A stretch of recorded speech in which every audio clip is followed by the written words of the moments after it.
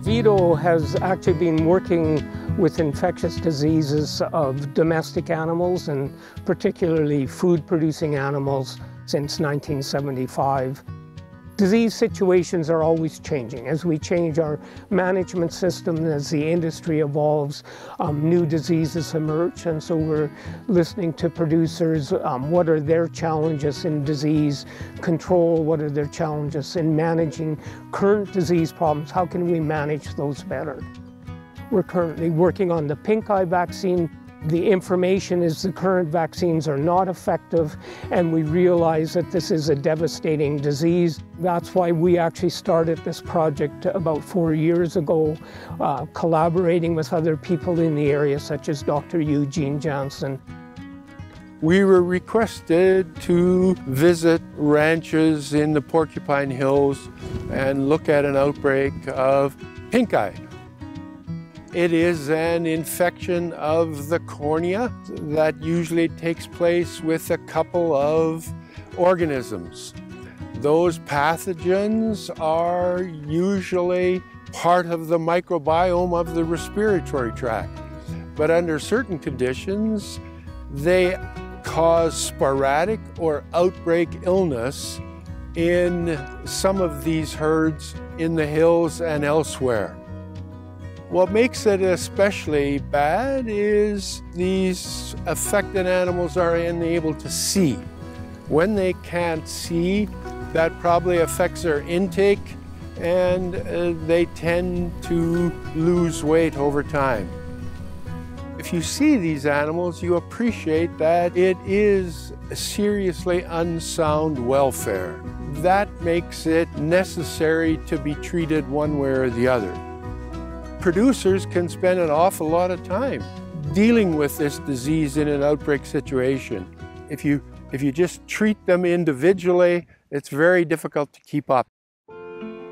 If you have an outbreak, you want to vaccinate that moment. And if you vaccinate with the vaccines that are already in the market, it won't help you. Because until the immune response is built and you have antibodies, you will have a very big outbreak what we're trying to do is that come up with a vaccine that first is easy to administer. Second is that it's capable to induce an immune response fast enough that it will stop the outbreak. So Moraxella is a bacteria that needs to attach to the eye. What we're thinking is that if we accelerate or we develop enough antibodies that are capable to neutralize the bacteria, then the disease, you know, there will be no, no harm to the eye by itself, the bacteria cannot cause any damage. It actually needs environmental factors that disrupt the tear film that protects the eye to cause damage. Could be wind, dust, flies, uh, co-infection with BHV1, tall grass, extreme uh, UV light, anything that can disrupt that uh, protective layer, that will help the bacteria to attach and colonize the eye and damage the, the tissue.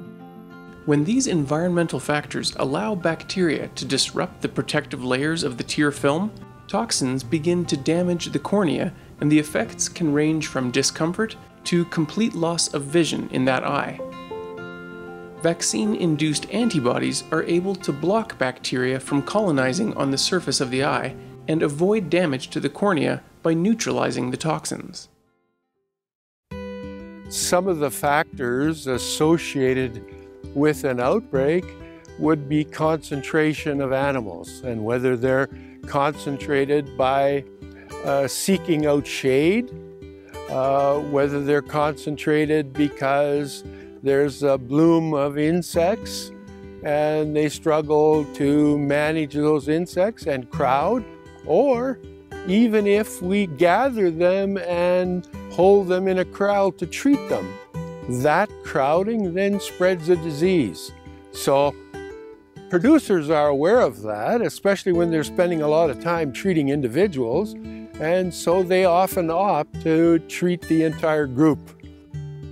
Each animal may have different levels of pre-existing immunity, and antibody or immunity in the eye raises the threshold of disease protection or the barrier to bacterial attachment. And it may depend on each animal where that barrier is when they become infected.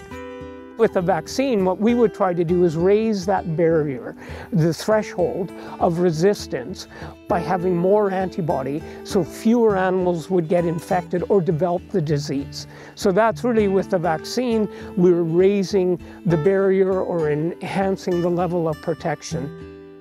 My goal is to create a vaccine that is capable to accelerate the immune response in the eye and maintain that immune response. And also this immune response has to be created around the first and the second week after vaccination before you know this animal go into pasture. And this vaccine has to be effective with only one dose. If we talk about improvement, uh, will be first the way we administer the vaccine. We're currently working with Dr. Suresh Tikoo with a novel vaccine delivery system that will be um, delivered as a drop in the eye. So right now we're testing safety and also if they are an immune response or antibodies uh, in tears in young calves. So basically what I do is I collect tears using a cotton swab. Okay, so I put the cotton swab right here and I close the eye so it doesn't disturb the tear film at all. Another thing that we have seen with my studies is that I also collect tears, uh, nasal secretions of blood from, from newborns, two months old, and yearlings. And what we notice is that uh, newborn calves, there's a lack of immune response towards uh, Moraxella. And two months old, that immune response increased by a little. While they're yearlings, the immune response is just very high. There are herds that have repeated problems year after year. And then there's herds who have never had a problem for 20 years and suddenly, boom, they've got a massive outbreak of pink eye.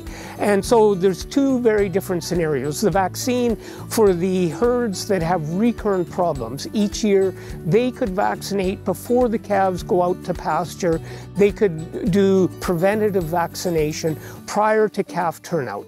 We also think our vaccine, by delivering it to the eye, inducing local immunity quickly, is something that a vaccine that could be used in the face of an outbreak. So a herd suddenly ha that has never had a history of pink eye suddenly has a large outbreak, and um, they can bring all those animals in, go through and vaccinate. They may not prevent the infection in the right eye that already has inflammation and damage, but by vaccinating the other eye, they can protect the, the healthy eye. In the end, what we want are very healthy animals. If we can actually develop vaccines that give producers a very effective tool to minimize or manage their disease risk, to me, it's very exciting